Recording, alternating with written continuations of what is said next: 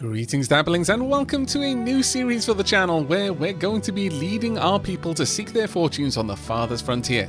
And while we're there, maybe we'll be able to find the answer to the ever burning question Is this a better banished? Farthest Frontier, for those who aren't in the know, is a new colony builder with a strong focus on survival, be it in the form of making sure you have enough food and firewood to survive a grueling winter, or turning back raids and invasions from greedy nobles. There are obvious parallels to be drawn between this game and the likes of Anno or indeed Banished, so fans of those games will likely feel quite at home with some of the concepts in this one. But Farthest Frontier hasn't been dragging its feet when it comes to new mechanics, and boasts one of the, if not the most involved farming system I've encountered outside of literal farming sims.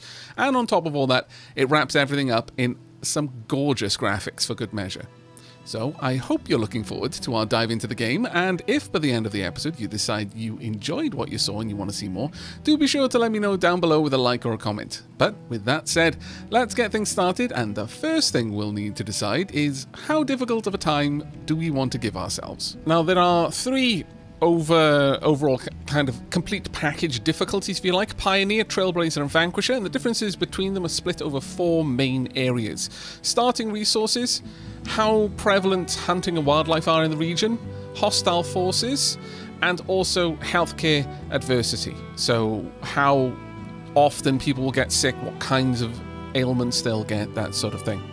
Now, for our first run, we're going to be rolling with Trailblazer, going to go middle of the line across everything, so we'll have the default amount of starting resources, hunting and wildlife in the area, hostile forces, and healthcare.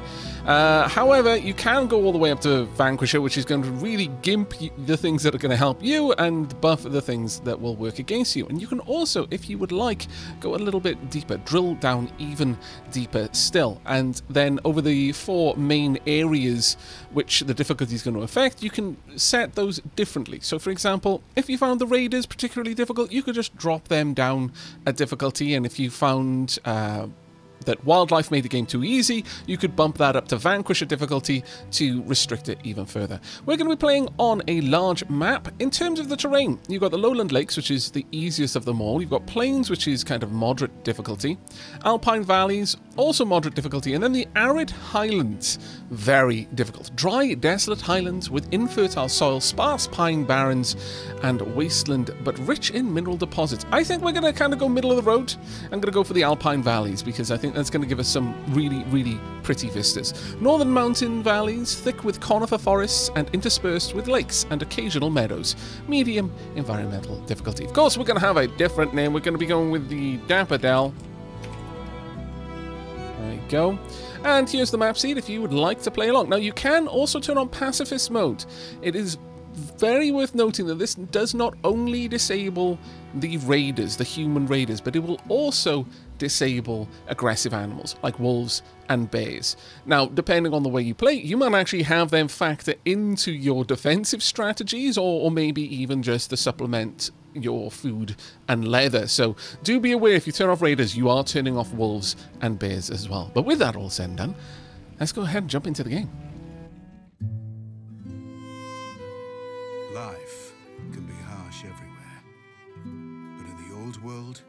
Was no hope of it ever improving. When our crops failed, the ruling class would still collect the same share, leaving our children to starve. And if we had any coin to our name, the taxman would appear, demanding it for the crown. The nobles hid behind the safety of their walls and did nothing when raiders pillaged the outskirts of the city. And so, some of us decided that it was time to leave. That we'd rather take our chances in the wilderness, seeking the promise of a new land, than starve to death in our homeland. The journey wasn't easy. We lost many along the way. But this wild, unsettled land offers us the hope of a new start as the masters of our own destiny.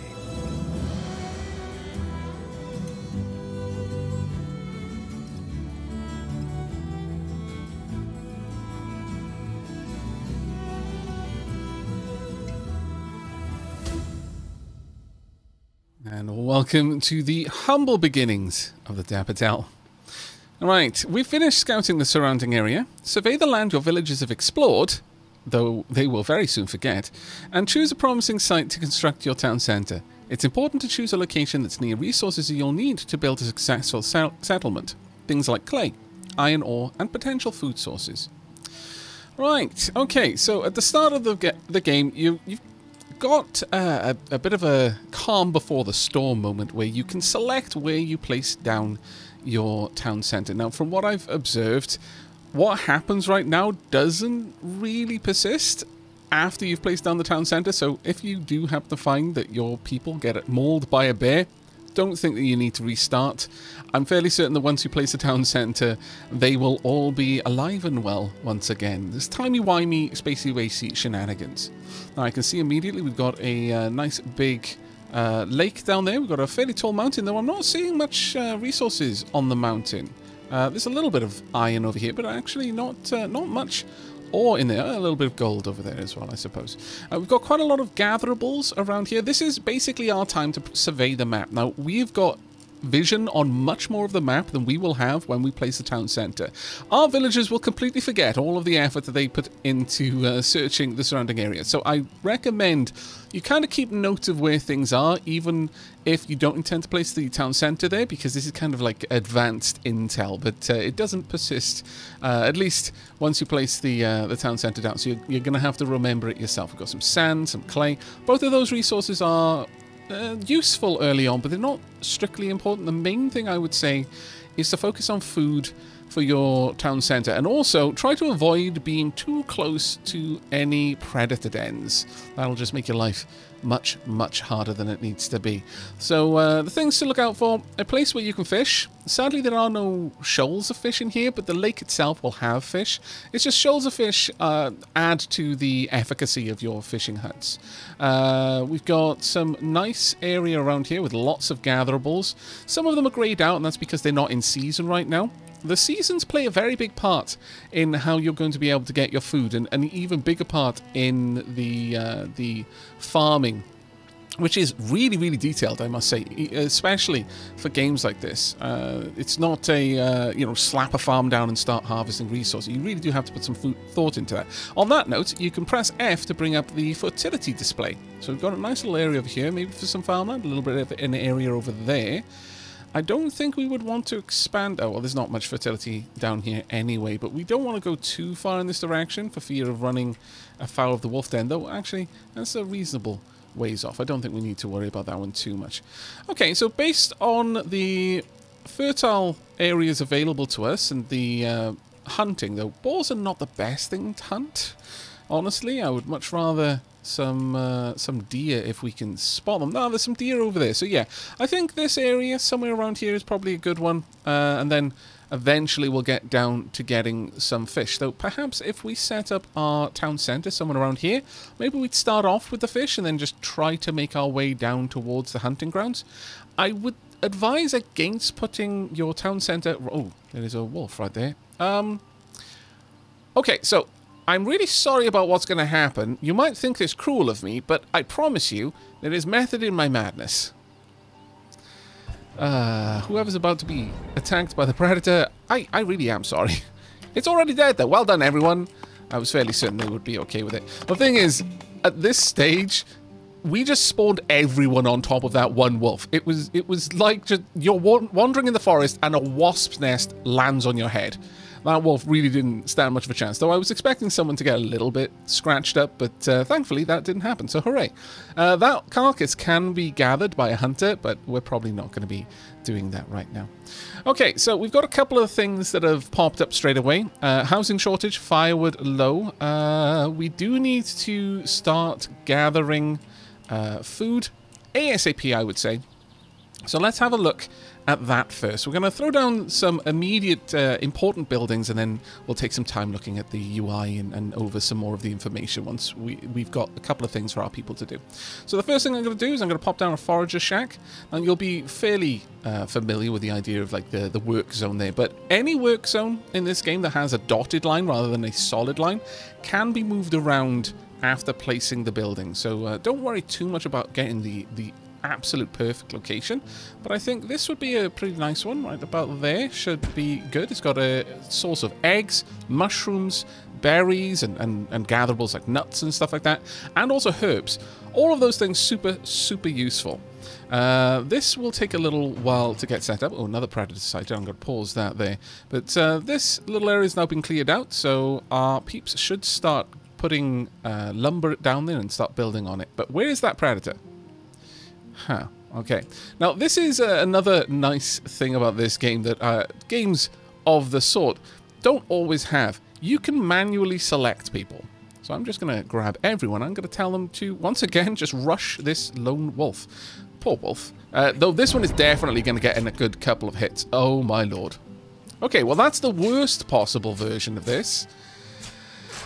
So, okay, we're playing on hard mode. Sadly, one of our villagers has been stricken with rabies. Much like the real world. Is Well, I mean, you know, in the real world you got vaccines, but uh, we don't here. So that is quite literally a death sentence. Fare thee well, Elkrond. Uh, that was a bit of a rough start, but okay. Uh, that that's uh, punishment for for the hubris of starting on top of a wolf. They they have taken taken their revenge. They may even actually be a wolf den somewhere down around this lake, just outside of our initial uh, vision radius. But we'll continue with the plan as as uh, stated. We'll get a forager's hut up over there. This is already a fairly good place for them to forage, so I won't need to move that around. I feel really bad that we're already going to lose someone. Uh, oh well, a little bit of drama, I suppose. Uh, let's see, where can we have this? I would like it somewhere around here. Now that doesn't look like the best place to fish. Uh, but again, it's a dotted line, so we'll be able to move that a little bit further down. So I'm going to set that one up as well.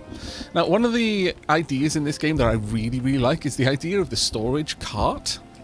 We will have static storage buildings, but I love having a, a, a wagon for storage. We can just move that around. It's basically a mobile storage location. And so if you put it somewhere where people are harvesting trees, and on that note, we're probably going to need some more trees harvested. So I'm going to set that up around here. I don't want to harvest uh, the bushes, though.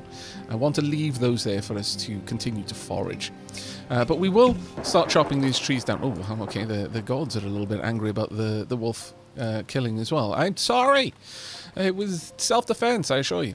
Uh, but we'll move the carts down here, and from there, our builders will be able to draw out materials right away. The uh, town centre is already built though, so that is going to open up a couple of things. Most of the buildings in this game are locked behind requirements of other buildings, whether those buildings need to be a certain level or they need to have uh, certain other buildings unlocked. For example, a lot of things are going to be locked behind having a store yard opened up. For example, this, uh, sorry, a stockyard. This one actually needs a storehouse and a hunter's cabin because obviously why would you be using a tannery if you don't have any source of leather? Now, I'm going to put most of my storage buildings fairly close to the town centre for one very important reason. The town centre is a garrisonable building, and once you've garrisoned anyone in there, they can shoot from it.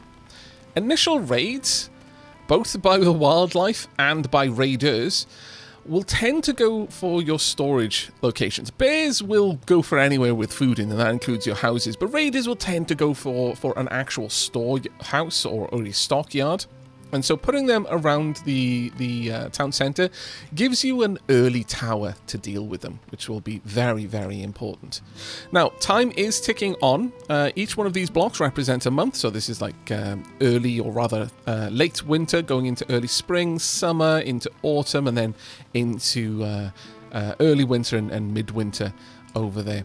We've currently got 12 villagers. That is going to be reduced to 11 sooner rather than later. Very sad about that.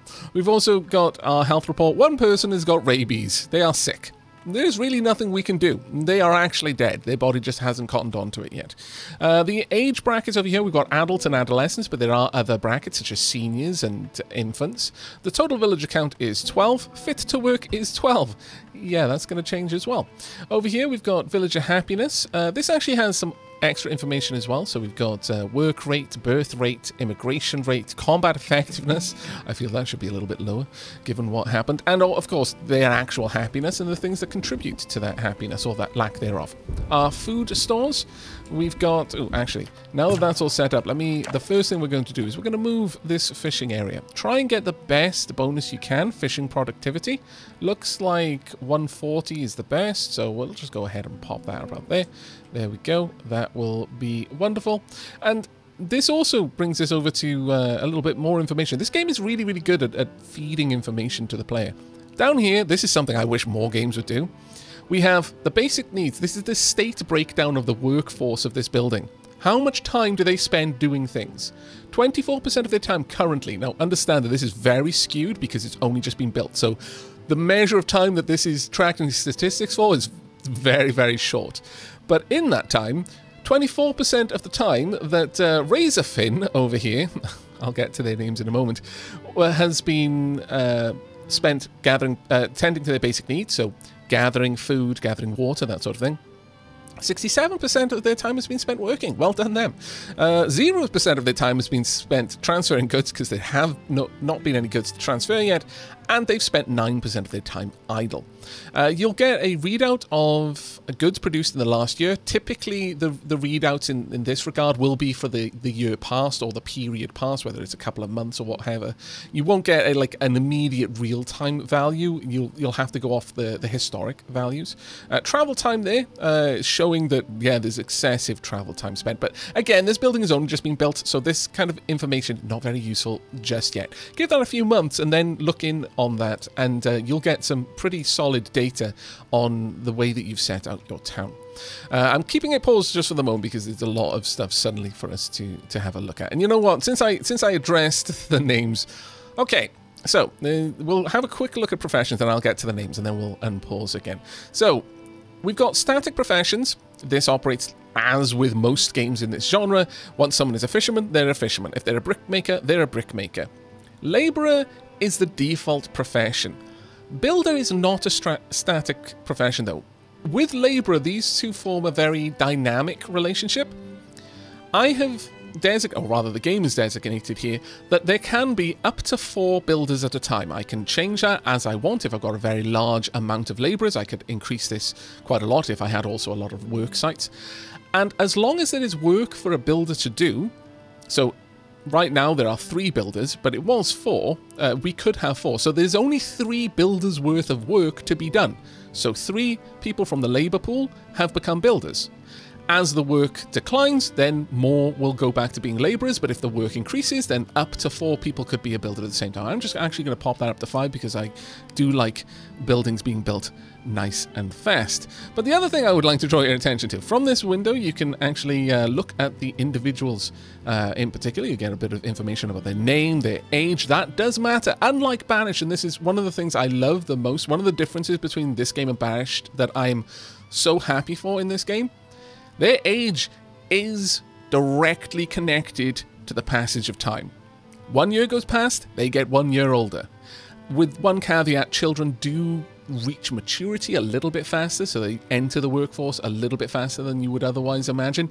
But other than that, once once uh, once you actually have their their information here, generally speaking, they age one for one with the years passing, which is really really cool. They will die of old age, by the way, so you do need to worry about that. But it's not quite as going to catch you off guard that your your population that only like three years have passed, but half of your population have died of old age suddenly, and and now you're in a death spiral.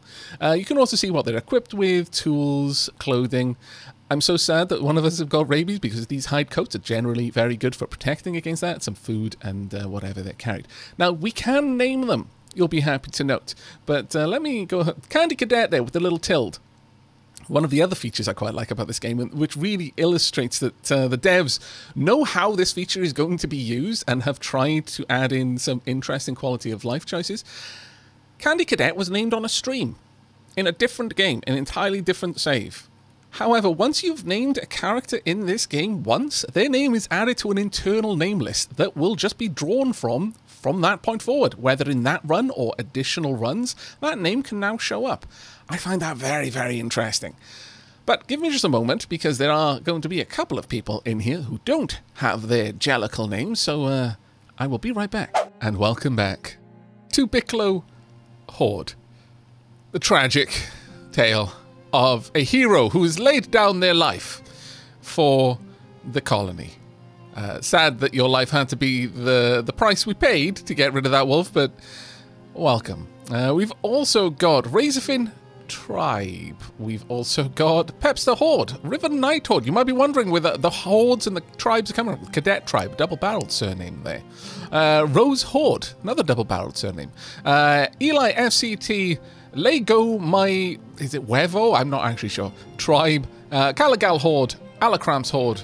And uh, there we go. That's all of the peeps laid out. Now, again, you might be wondering, what's this with the hordes and the tribes? Well, since we've named the colony after the Dapper Dell, uh, which is the name of uh, the Dapperlings Discord server, I figured since we were going to end up with a mixture of uh, people who've been named in the stream game, so uh, my uh, Twitch subscribers, and here the uh, the YouTube members and also Patreon supporters, I would uh, make them a little bit more distinct and uh, notable using the same uh, same names for the various groups on Discord. So we've got the Hedonistic Horde for Patreon supporters. We've got the Crimson Court, no court members yet in the colony for our YouTube members, and the Twilight Tribe for the Twitch subscribers. Uh, this allows me. This isn't just you know a, a little bit of roleplay, but it is actually quite functional in that some names are very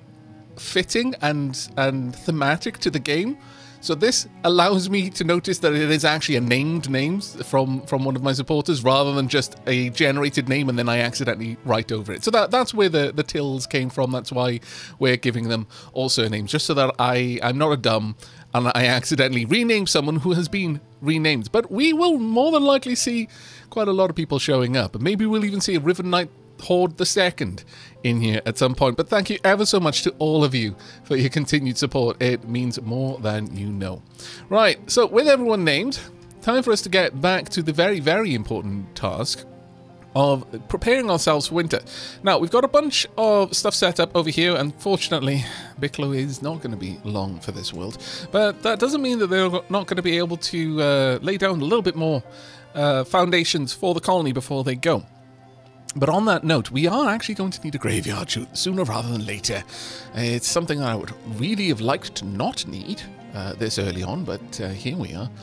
I'm going to place this on the way to the town centre, from where I imagine we're going to set up our houses. We'll see how all of that goes. Now, one of the really nice things about this game is you can actually relocate buildings fairly easily later on, so mm, most of this is not set in stone. But I bring this up because you cannot relocate the graveyard, so bear that in mind. Where you put that, it stays, because you don't want to end up with poltergeists and, and deciding to move graveyard and then forgetting some of the bodies. That's exactly how you end up with poltergeists. Uh, now, we're going to want a firewood starter. Now, since I'm going to be placing houses around this area, I want this to be relatively far away because it does have a malus to desirability. So we're going to pop that one right there. Now, the reason I popped that there is because I wanted it to be near enough to the area we set at the stockyard. Uh, that way, the logs that are placed there will easily be uh, moved across. Uh, on that note, let's move you up. Uh, we've got a couple of other things that we're going to need to do. Now we're starting to gather fish. I would really like to get some uh, hunting on the go at some point as well. I believe there was some deer down in that direction. But before we get to that, let's make sure that the fish that we are fishing don't go to waste by building a smokehouse. The smokehouse dries and cures meat and fish, greatly extending how long these foods will keep before spoiling. A constant supply of firewood is needed to keep the smokehouse operational.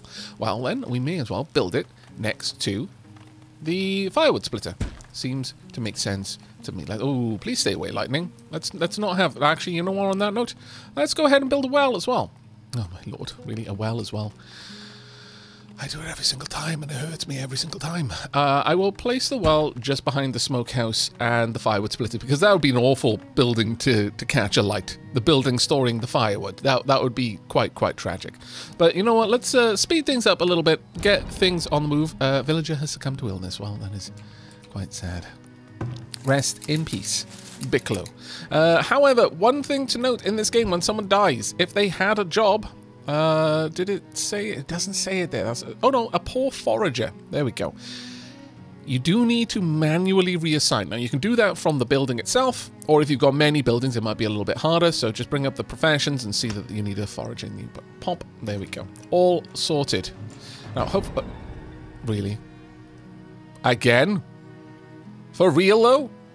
My lord. Okay, everyone get in there.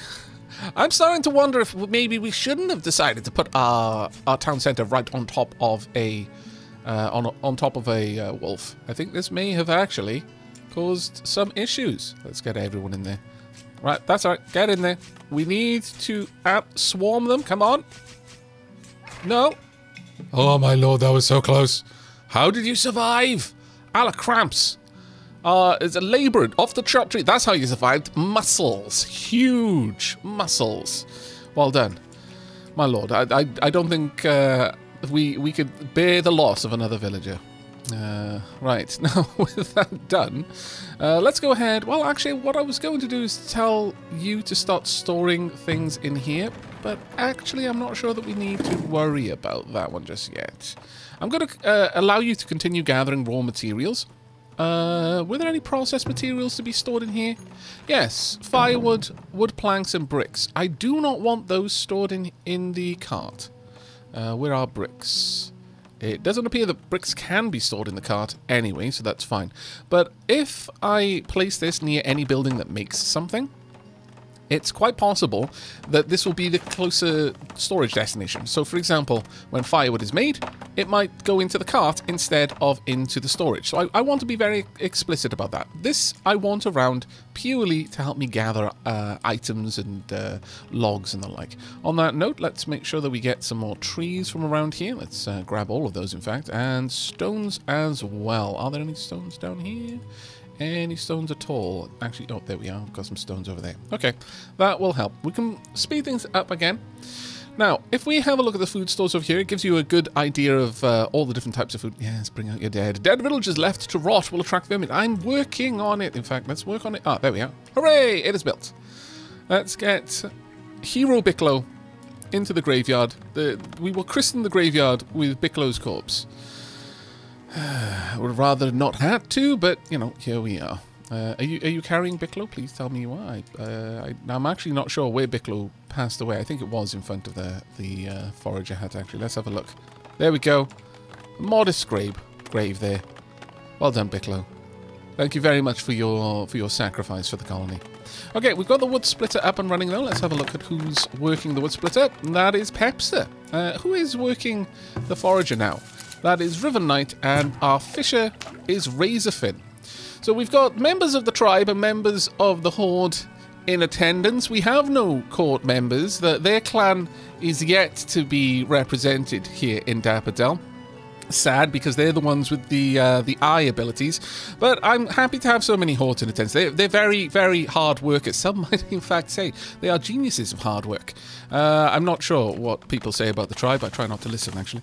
Uh, nevertheless, let's go ahead and get all this set up. We are getting the raw materials stocking up in there. That's fantastic. You also notice there are barrels. Barrels allow places to store items a little bit better. We do need more stone, though, and that's going to take a little bit of time. Uh, we are coming up to about mid, uh, middle of the year now, though, so it is time, I feel, for us to start laying down some houses, and we're going to need those built with something of a quickness, actually. Uh, we do not want to be uh, with people without homes through the winter. That would actually be incredibly bad.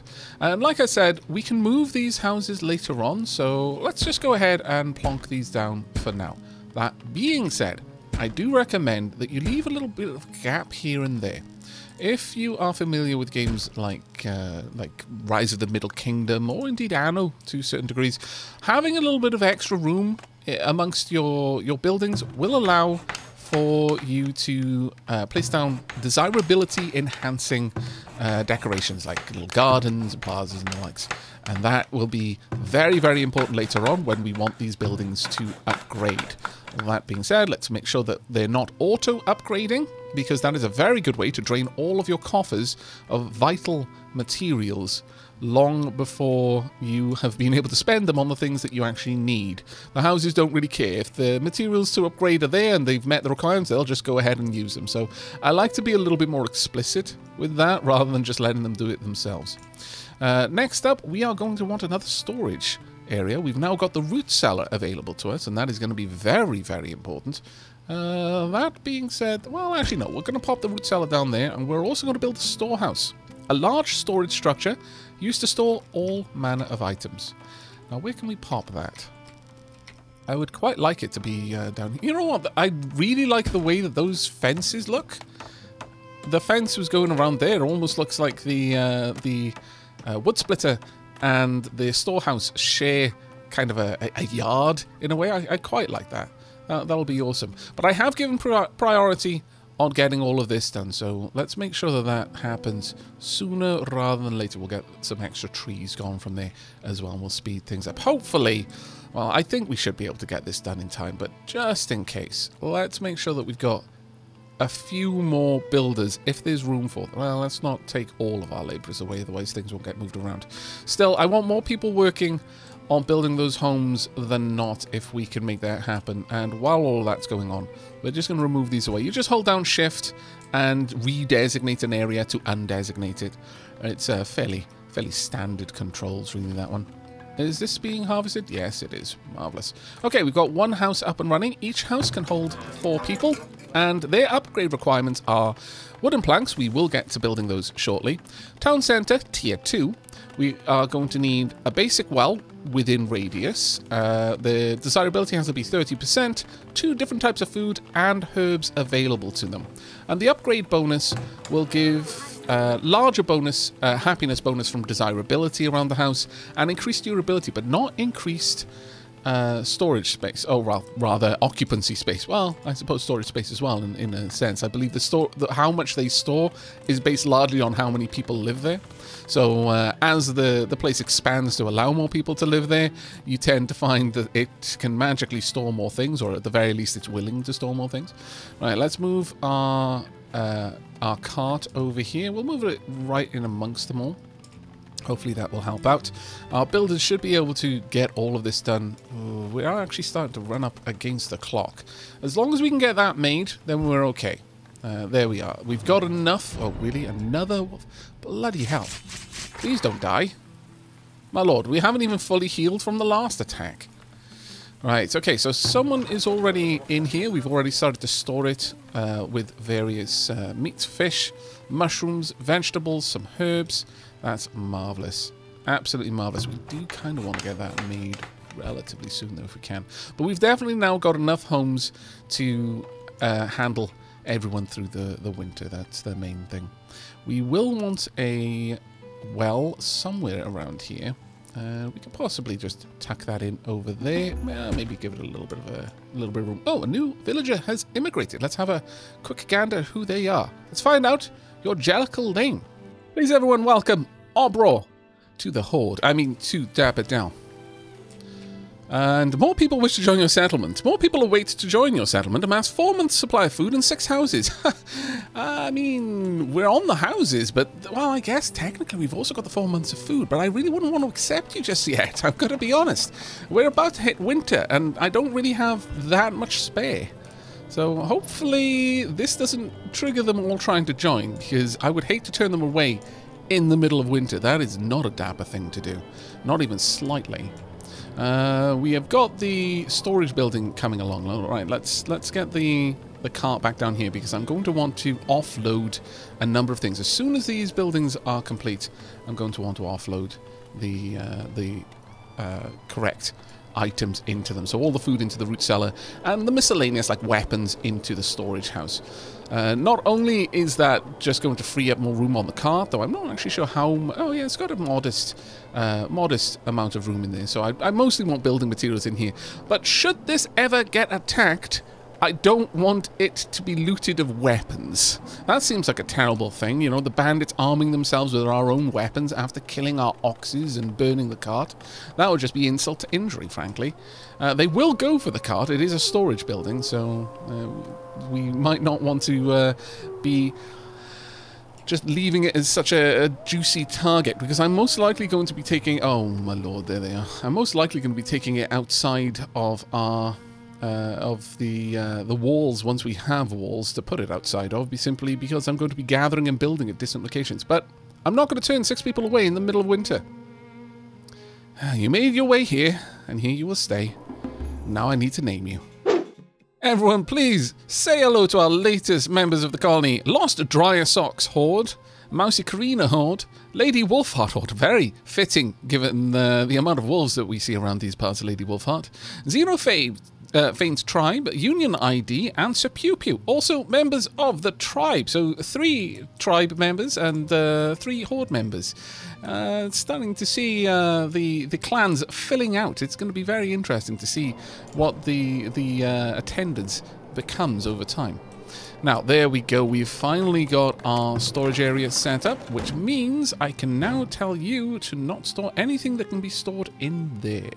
Uh, that being said, I will allow you to store any raw materials. Generally speaking, I would prefer these to be stored. That said, um, I, well, I could, at this point, tell you to offload all the food. I guess I will, uh, simply because I would rather those be in the storage house rather than here and wandering around with me. Again, same, same thing. We shouldn't really have uh, food being stored in the cart. There's not really a reason why that would ever occur. Can I just tell the whole thing to be emptied? Oh my lord, I can't. Okay, well that's definitely something I would like to be added as a quality of life enhancement. Give me a moment. And there we go. We've also got the root cellar up and running, and I've gone ahead and I've disallowed any type of food stuff to be stored in the storehouse. Some things are still going to be in there just because they were already uh, designated as the destination prior to the root cellar finishing, but uh, eventually someone will come along and move things into the correct place. Currently, we've got two months worth of food, and in 12 months, one month's worth of food is going to decay, unfortunately. We're about to finish building a well over here, which is going to be very great news for the houses, since they're probably going to be uh, rather desperate to have that well there at this point. Uh, furthermore, let's go ahead and build out a road. Now, a road will have a tiny, tiny effect on desirability.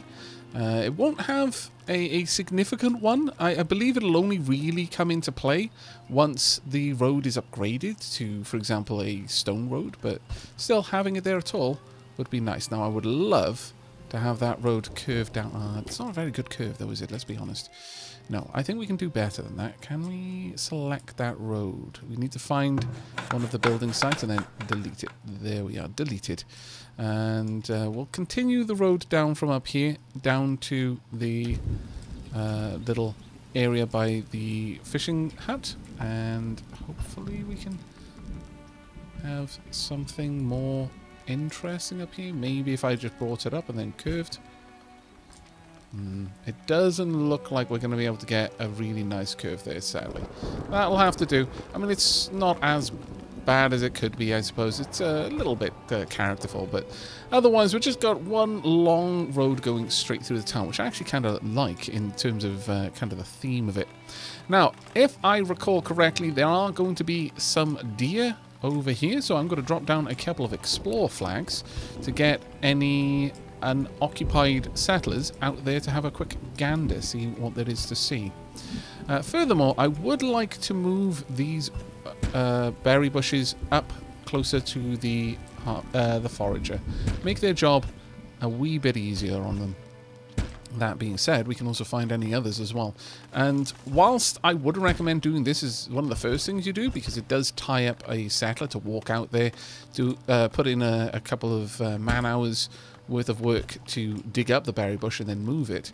But it is definitely worth doing once you've got a little bit more established and you're not having to uh, worry about the, the bare necessities for survival. Right, there we go. We've managed to clear out quite a lot of the logs, actually. I'm, I'm relatively pleased with the look of that right now.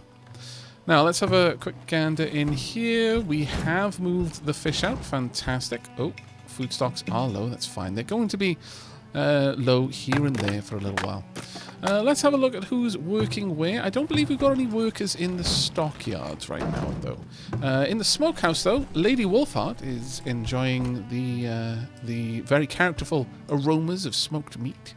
Uh, though, from what I am told, smokehouses mostly just smell of smoke, uh, sadly. Which is probably why that they are not the desirability increasing affairs that I would have imagined otherwise. But down here, I'm thinking we want another, uh, well, a combination hunter and uh, forager. We've got a lot of herbs, mushroom clusters, hawthorns. Yeah, let's go ahead and set up a little bit more uh, in regards to food production, just to tie this over. Uh, if we were to set up about here, we would get a couple more items here and there. Uh, and I think that will work out quite nicely. Though, if we could get some greens, it would probably be a little bit better for us on the whole. We definitely do need some some uh, a good balance of greens in our diet. So let's go ahead and pop this about there, I'm going to say.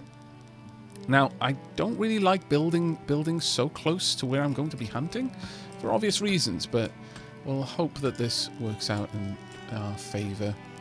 Now, can I get this to twist and turn and come up here and connect up? Might be a little bit too much of a too much of a, a walk there, but let's see. Uh, come down here, perhaps. Maybe down there would be okay. We'd go straight over the the clay though, which is not ideal. What I would love is to have a bit of a twisty turny road that connects up down here. Oh, that that actually looks very nice. There we go. That leads straight down to the storage areas, so we'll be able to take the forage and indeed later on the spoils of our hunter down to the correct places to store them. Uh, let's pop those about there. Now, with any distant location like this, I think it's generally worthwhile popping down another well. Again, you don't want to see what happens if your remote hunters and forager cabins, mostly made of wood, get struck by lightning and the nearest well is the other side of the map. Bad times. Trust me on this. We have lost a couple of berries, though. We're not going to be able to keep them for over long, no matter what we do. Uh, in terms of our housing situation, we're doing all right there, I would say. But we could probably do a little bit better, so let's add a couple of extra houses. Maybe one there, and one here, and then uh, sure, we'll, we'll have another one directly opposite. There's, there's no reason to go too far out, because if, if you make too much of a point of trying to make it look organic, like you hadn't laid them down on a grid, you just draw attention to the fact that the grid exists. So lay them out, uh, you know, whatever whatever way the terrain dictates is, is, probably the, the most organic way you're going to get, uh, in my opinion at the very least. We'll draw out a road just down here as well. Now, eventually we're going to want to get a market up and running. Can we do that yet? No. We're going to need the saw pit because the market requires wooden planks. So that makes a lot of sense. Let's go ahead and place down a saw pit then. This one is going to have a fairly intense effect on desirability, so let's not build it quite as close as that. In fact, we can maybe squidge this one. Oh, you know what? Yeah, sure. We'll squidge it right down here. That should be okay. It's far enough away, I think that it shouldn't cause too much of an issue for our town centre. And we can draw out a little road down here as well. Now, some roads are necessary. Uh, and the reason for that is that without the roads, you're not going to be able to build uh, eventually wagon and car. Uh, sorry, uh, wagons. Uh, I believe the the wagons are pulled around by by oxen, and they act much like dedicated uh, transporters. But I believe they can only follow the roads, or at the very least, the effect, the speed up effect of roads is dramatic with them versus versus people. You can also flatten if you would like to. I noticed that the uh, the slope there became a little bit aggressive. It does take uh, effort to do. You don't get it for free, so I would be sparing with your use of it, but it can help out in some instances. We'll actually watch how this looks once they're done with it quite a few of them in there. You don't always get to uh, dictate how it's going to go. It, it, it's more like it averages it out rather than strictly uh, strictly uh, flattens it down to the the tile that you began on. But I think that leads to some very interesting looking slopes as well, which I, I quite like. Right, who have we got working in here? We've got Xenophanes and Obror. I actually feel that we need more people working on planks than anything else, so we're going to go ahead and we're going to get uh, Phoenix Tilia and Alacramps. Xenophanes is the solitary tribe uh, clan member working in the Sawpit. Hopefully, hopefully they, they are going to be an exemplar of their clan. They they will bridge the gap. It'll be it'll be glorious. We have, however, run out of food, which is not the best thing in the universe. Our hunter and our fisherman will work over uh, all the way through winter, though, as long as it isn't so cold they can't go out. Let's have a look at you. You're butchering meat right now, Sir Pew Pew, and also Lost Dryer Socks over here.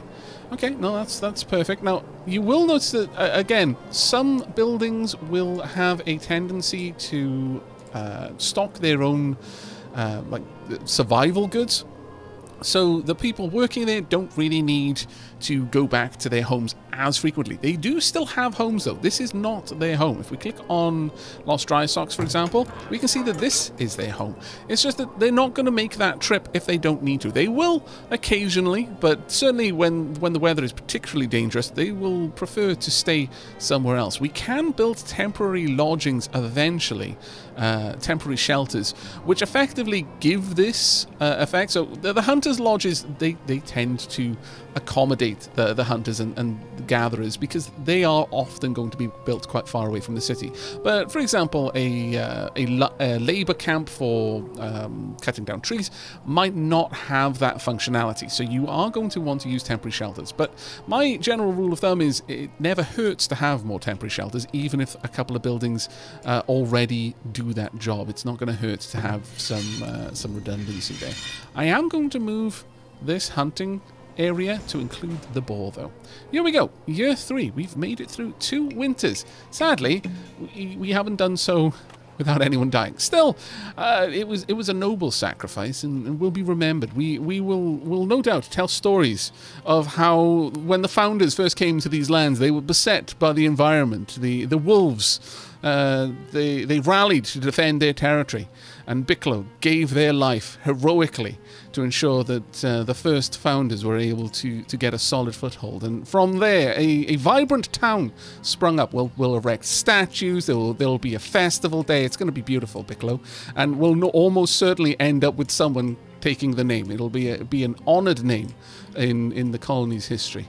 No doubt we will, we will see Bicklows, little Bicklows running around eventually.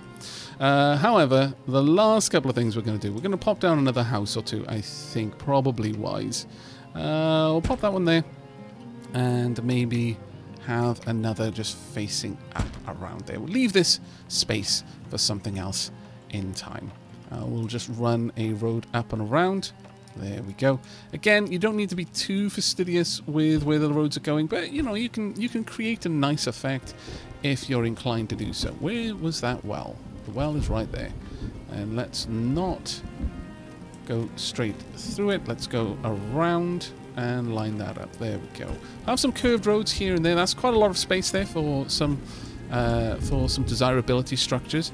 And I think this is a relatively good place to, to wrap things up. We've actually done a fairly good bit of work. We've managed to get a, a solid foothold. Again, thanks to Bicklow's sacrifice. We've got, uh, I would imagine we're going to have a decent amount of food coming in. I'm very happy to have a hunter up and running because fish I mean, that's good. It's great. It's protein, but it isn't hides. And hides are shoes and hide coats, which will hopefully protect future colonists from rabies. But uh, we'll have to keep our fingers crossed on that one. But I think this is a this is a really really solid solid beginning to the colony. So I hope you have enjoyed. That is going to be it for us for now. In the next episode, we will hopefully be setting up a market square and continuing to progress through the tech tree, getting up a couple of other industries, the aforementioned cobbler and uh, tannery uh, amongst them. But all of that will have to wait for a future episode. Once again, thank you ever so much for joining me. I hope you enjoyed, and if you did, then do consider leaving a like if you liked down below and sub if you haven't already. And I will see you in the next one. But until then, do take care, everyone.